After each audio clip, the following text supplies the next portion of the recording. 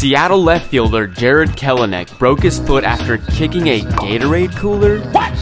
Kelenic struck out looking Wednesday night after Jhoan Duran landed a curveball on the black, putting a dent in the cooler and putting another in his left foot.